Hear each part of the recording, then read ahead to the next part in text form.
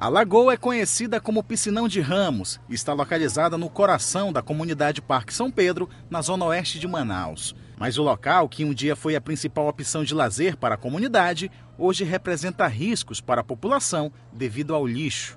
Que na frente era uma praia bonita, tinha um chapéu de praia, todo mundo brincava, todo mundo tomava banho. Hoje em dia está todo poluído aí, não tem escoamento de água nenhuma. E a lixeira que tá, todo mundo joga lixo aí dentro de vez em quando, né? O pessoal passa e joga uma sacola. Aí vai terminando poluindo a água, pois que aqui era uma praia, tudo era praia, não tinha nada de capim, só era areia. O problema é que o bairro foi criado a partir de uma invasão e a ocupação desordenada nas margens da lagoa gerou uma série de crimes ambientais.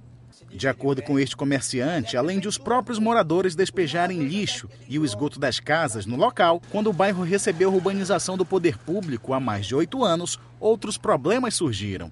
A drenagem da rua, por exemplo, é escoada para dentro da lagoa. Quando chove, todo tipo de lixo vai parar na água. Não é da, da, dessa administração agora o problema. Vem do começo, quando fizeram a rua do, do bairro e drenaram a água da lagoa, a água da rua para dentro da lagoa. Aí vem todo o lixo, vem geladeira, vem saco, vem garrafa PET, vem tudo aí, a gente tem que tirar.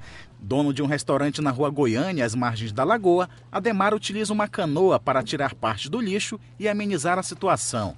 Garrafas PET, sacolas plásticas, materiais que levam décadas, talvez séculos, para se decompor. Por que, que você toma essa iniciativa de tirar esse lixo daí, Ademar?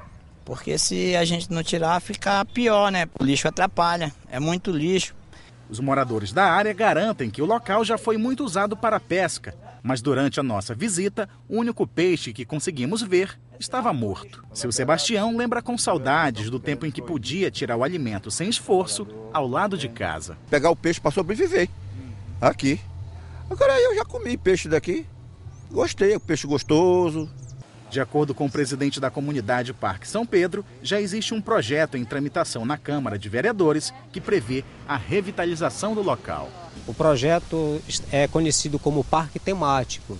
Qual é o projeto? Revitalizar o piscinão, fazer uma fossa comunitária e salvar o lençol freático, o lençol d'água e fazer um calçadão para que vire um balneário. A tentativa de salvar o piscinão da comunidade Parque São Pedro é a única chance de o lugar não se transformar em mais um esgoto a céu aberto em plena capital da Amazônia.